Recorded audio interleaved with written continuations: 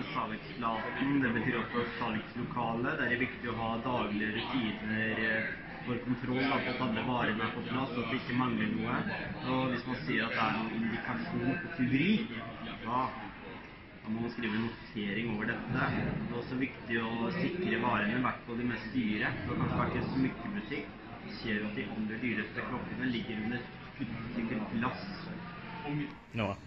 Svinnhjulet illustrerer de mange svinnskillene som er i varehandelen. Svinnhjulet består av varebestilling, prising, kassapunkt, eh, salgsflaten, lager, varemottak, eh, leverandører, personaltyveri og Og kundetyveri. Kundetyveri er et stort problem i butikker. Fordi I bestillingen kan det oppstå svinn. Som f.eks. at varene står for lenge på lager, slik at de blir dårlige og ødelagte. Og dette skjer når man bestiller for mange varer. når man bestiller varer, så er det viktig å ikke bestille for mye.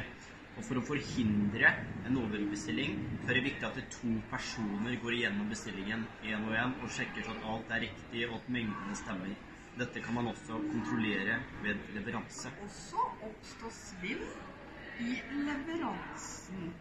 Dette kan skje når det er satt feil pris på denne leveransen, eller feil vare.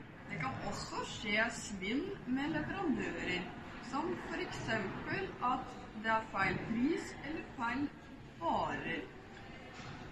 Ja, og det som skjer da når man får feil mengde varer, da kan det hende at man får for mye av den varen.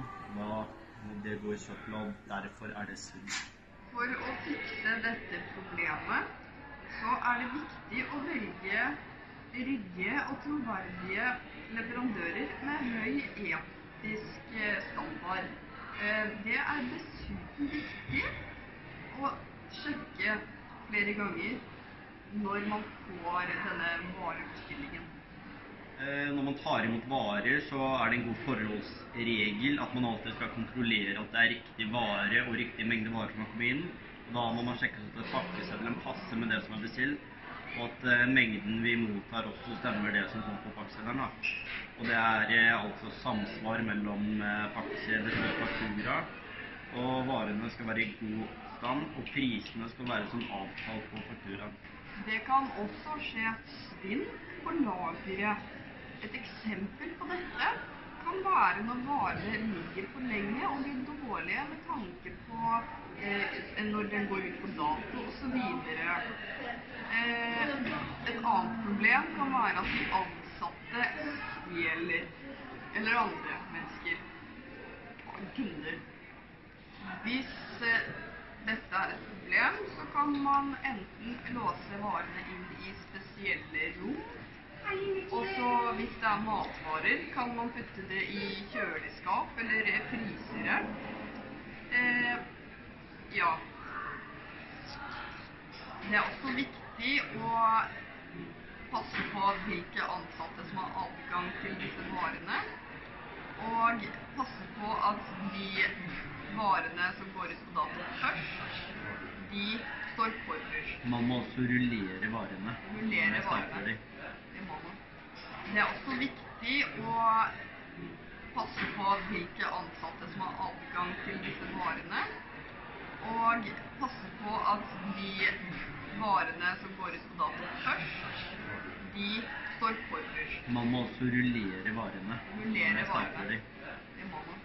Kundetyveri er et problem i butikker. Eh, og det er for at folk i alle aldre stjeler. Eh, og det kan ha store økonomiske tap for butikken hvis eh, for mye blir tatt. Da er det ofte småting som blir tatt, som eh, sjokolade og sånne småting, men også dyre produkter. Eh, sånn som f.eks. dyre produkter.